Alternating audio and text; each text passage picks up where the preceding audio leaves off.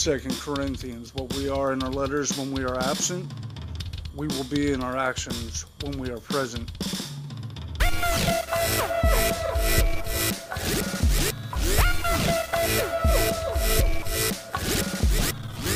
Why can't people just say what they think and think what they say?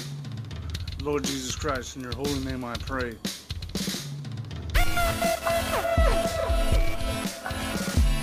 Jesus Christ paid the cost for those whom are lost.